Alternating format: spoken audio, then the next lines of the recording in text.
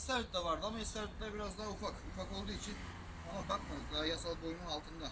Hmm. Seneye ekmek verir onlar.